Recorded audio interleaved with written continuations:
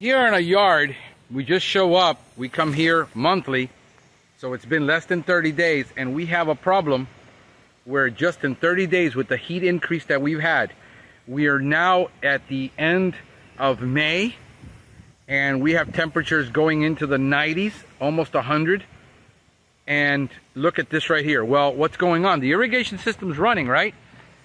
It's just you've got eight foot nozzles that are pointing in the wrong direction. They're twisted. Okay? Here, let me get out of the way from there. It's twisted. So it's hitting towards my vehicle. That one in the back is not reaching all the way. Let me walk around this side. You got this nozzle that's an overhead. It's not reaching over there because it's contrary to the wind. And then you got that one, it's just, it's not twisted, so we need to straighten it there, and then it's still not reaching all the way over there.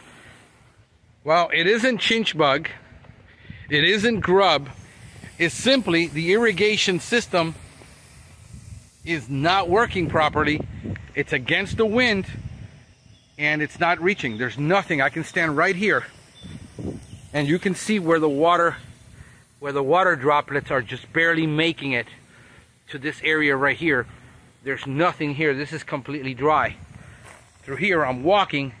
It's completely dry. It's barely like a couple of drops are hitting barely hitting it. So the importance of getting an irrigation system inspection and having a right now getting a there's also damage. They installed a new cable box. So they, there was some damage done that they had to do repairs. Here's the other thing you have. You see this large tree right here well, they're doing a sidewalk repair right now because of this oak tree, live oak tree. And look at the roots. All of this is competing for water. Look at the roots right down there. Look at the roots, how far they're going, competing for the water that's available. So these are all things that affect the landscape.